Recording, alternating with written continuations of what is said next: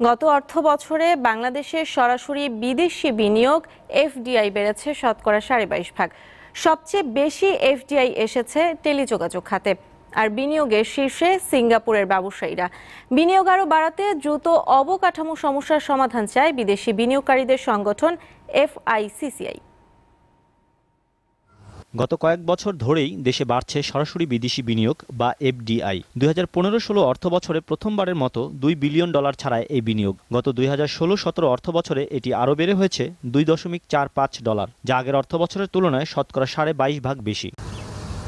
গত অর্থ বছরে সবচেয়ে বেশি বিদেশি বিনিয়োগ এসেছে টেলিযোগাযোগ খাতে। এরপরই রয়েছে বস্ত্র ও পোশাক, বিদ্যুৎ, ব্যাংকিং এবং জ্বালানি খাত। আর সবচেয়ে বেশি বিনিয়োগ করেছেন সিঙ্গাপুরের ব্যবসায়ীরা। এরপরে যুক্তরাজ্য, যুক্তরাষ্ট্র, নরওয়ে ও হংকংয়ের বিনিয়োগকারীরা। বিনিয়োগের জন্য যে সমস্ত মৌল বিষয়গুলো আছে, সরকার এবারে ক্ষমতা আসার পরপরই সরকার কিন্তু ওই সমস্ত মনোযোগ দিয়েছে। তো ইনভেস্টমেন্টের যে প্রতিবন্ধকতাগুলো আছে এই সমস্ত লাঘব হবে এবং সমস্যাগুলো দূর হবে।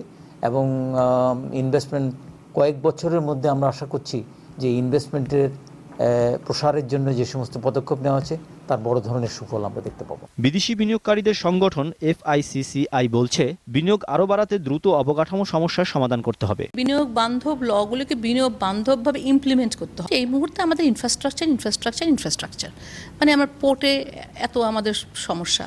দেন আমাদের হচ্ছে ইলেকট্রিসিটি এখনও সমস্যা আছে যদি বলছি নাই। তারপরে আমাদের গ্যাস যেটা হচ্ছে অনেকগুলো ইন্ডাস্ট্রির জন্য পি পিভোটাল র মেটেরিয়াল তো সেগুলো তো আমাদের আমরা পাচ্ছি না। এছাড়া এ বিষয়ে সরকারের সব সংস্থার মধ্যে সমন্বয় আনারও তাগিদ দেন তিনি। ইমেজের একটা সমস্যা। মাসুম মিয়া দীপ্ত সংবাদ ঢাকা।